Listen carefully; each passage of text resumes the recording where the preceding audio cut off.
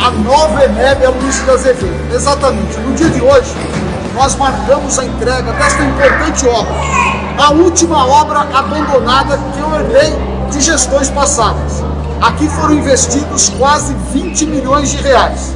Além da importância de terminar uma obra abandonada, ela tem um significado muito especial, são as crianças. Com a inauguração desta obra, nós zeramos a fila da creche aqui no Jardim Calux, no Beatriz e no Planalto. Uma conquista importante, um compromisso da minha gestão não ter crianças na fila de espera, principalmente da creche. Nós estamos fazendo um retorno gradual, com responsabilidade, respeitando a vontade dos pais. Se você não se sente seguro ainda em trazer o seu filho, nós respeitamos, ele não terá nenhuma punição. Porém, o retorno é necessário.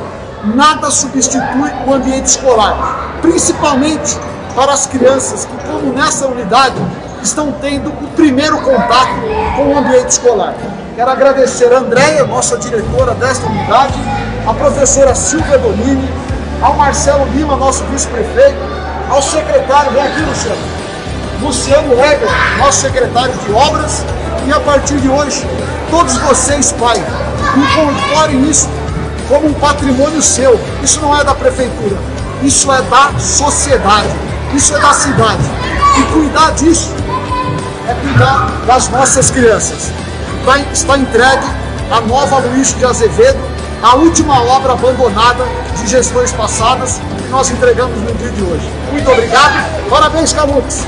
É a oportunidade que vai dar para os pais e para as mães poderem trabalhar, poder fazer aquilo que é necessário, sabendo que seus filhos vão estar bem cuidados, com alimentação, numa estrutura nova.